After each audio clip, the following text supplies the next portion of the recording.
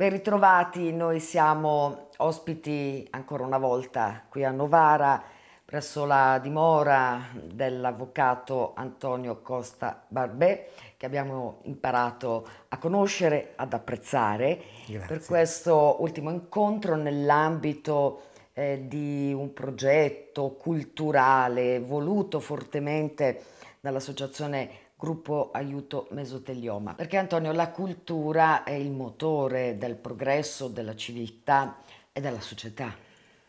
Certamente.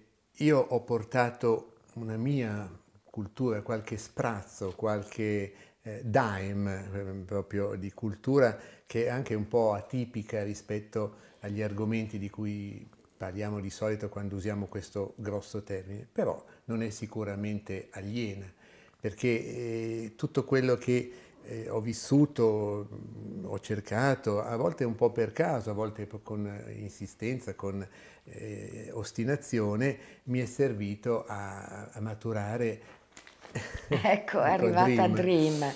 A maturare anche delle convinzioni che andavano al di là di quelle che erano semplicemente le mie ricerche del momento. Abbiamo detto la volta scorsa che avremmo concluso questo, questo, ciclo di incontri con un incontro virtuale perché Mia Martini mi è sfuggita perché non, non ricordo il motivo esatto, ma non riuscii mai ad andare a vedere un suo concerto dal vivo. E mm, ero quasi arrivato alla possibilità di contattarla, di, di incontrarla, quando purtroppo eh, mancò, mancò nel maggio, mi pare, del 1995.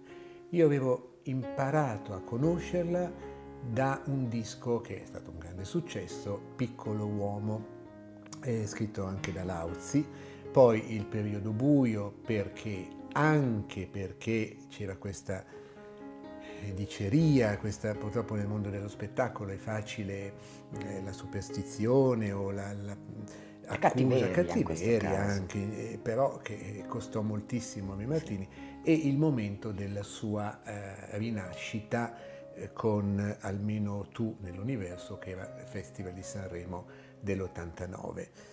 Um, ehm, in quel momento eh, sembrava che lei dovesse ritornare in auge, la sua voce era già un po' provata, perché quella degli inizi mi aveva colpito ancora più a volte della nostra grande mina nazionale, a cui pure mm, leviamo. Abbiamo detto tutto. Detto sì. tutto. Bene, io a quell'epoca avevo una situazione mm, con un piccolo gruppo, ma non per questo meno importante, Elicchia, che era un gruppo benefico nel giro degli oratori, ma lo dico nel senso buono, nel senso del termine, per cui avevamo portato in giro due spettacoli scritti da noi, da me, da Dario Artuso, da Claudio Iodice, con canzoni quindi sostanzialmente nostre. E qui io scrissi una canzone che mi venne tornando dal tribunale oltretutto, eh, Ave alla forza che c'è in te,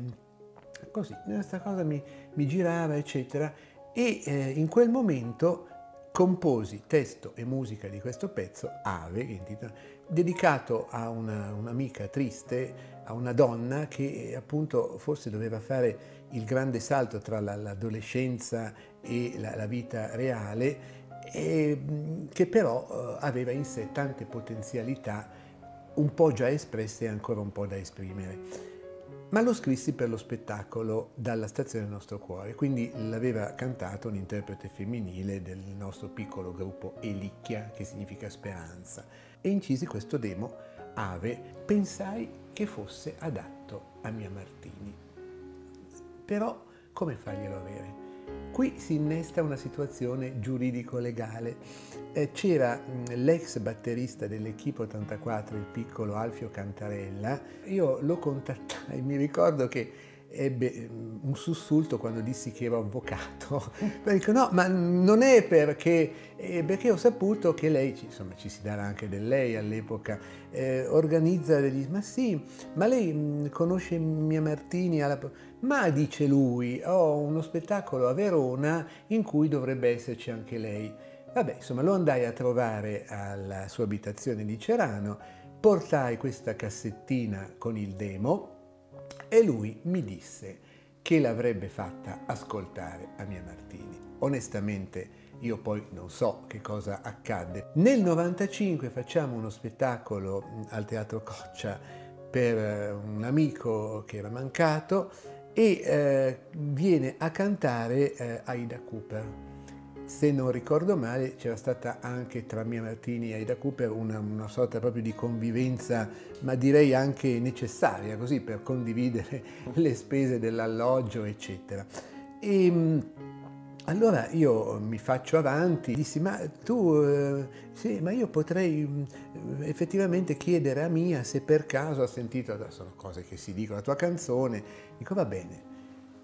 Purtroppo pochi giorni dopo la ferale notizia Mia eh, era mancata. E quindi eh, rimase questo demo, questa storia e questo incontro che non ci fu, quindi un incontro virtuale.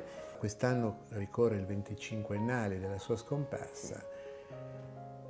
Vedremo se questa canzone potrà essere finalmente conosciuta magari da un pubblico più vasto. Come scrissi in questo pezzo quando mancò su un, lo- un giornale locale, mia cara, non ci siamo mai conosciuti personalmente, non ebbi neanche occasione di assistere a un tuo concerto ma la tua voce e le tue canzoni mi hanno sempre incredibilmente emozionato. E poi le dicevo, accennavo a questa canzone che avevo scritto, che non sapevo se lei avesse ascoltato o no, e concludevo dicendo, magari adesso Ave la sentirai assieme al coro di tutte le radio d'Italia che oggi alle 4 di pomeriggio ti chiameranno ospite infinita sulle ali dei megahertz, ave alla donna che c'è in te, ave alla luce che riavrai,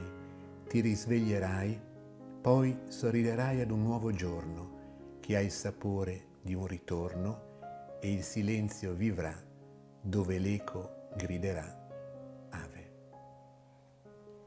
Ci avviamo alla conclusione, però... Però eh, io ho pensato... Però, però dobbiamo ancora dire alcune cose importanti. Abbiamo avuto all'inizio di questo ciclo di incontri la presentazione degli amici del gruppo Mesotelioma e abbiamo raccontato e rammostrato le immagini dei miei incontri con i personaggi, eh, però io vorrei lasciare anche una, una, qualcosa di tangibile. Mm, da quasi tutti questi incontri sono scaturiti piccoli oggetti, vuoi un autografo, vuoi un, un libro a tiratura limitata che avevamo fatto per De André, vuoi una firma di Carl Anderson, vuoi un... E non abbiamo parlato di alcuni incontri, tra virgolette, minori, ma con personaggi incredibili della musica, chiamiamola rock ma è limitativo, Keith Tippett, mancato da poco, pianista jazz rock all'avanguardia, e Julie Driscoll. Ci sono anche, ecco, per esempio, eh, questa andava inserita nella storia del primo Jesus a Novara al Teatro Coccia, perché il giorno successivo, al 10 marzo del 75, i legnanesi interpretavano al Teatro Coccia, questo è Felice Musazzi, l'autografo, i Power Christ Superstar. E quindi mh, questi oggetti io vorrei lasciarli al, al gruppo Amici dell'autografo di Sordi, al gruppo Amici Mesotelioma, perché ne facciano il miglior uso, perché non finiscano appunto come l'arca dell'alleanza, dell'energia, del potere, che in Indiana Jones nel primo film finisce, come ho già detto una volta, con questo campo lungo all'indietro dove spingono questa cassa dove non si saprà più neanche che cosa ci sia. Sono piccole cose, ma sono abbastanza importanti per dare la stura magari all'approfondimento di quei momenti un po' alternativi di cultura di cui abbiamo parlato in tutti questi incontri. Antonio, è stato un privilegio davvero incontrarti, eh. conoscerti, poter discorrere con te eh, di tanti aspetti, eh, quelli appunto che hanno caratterizzato questo, questo percorso soprattutto umano e ci lasciamo davvero con eh, un arrivederci e con eh, un invito perché tu possa tornare nella nostra città, Lecco, dove stato, già sei stato, vero? Sì. E quindi è davvero soltanto un arrivederci. Arrivederci e grazie ancora a tutti.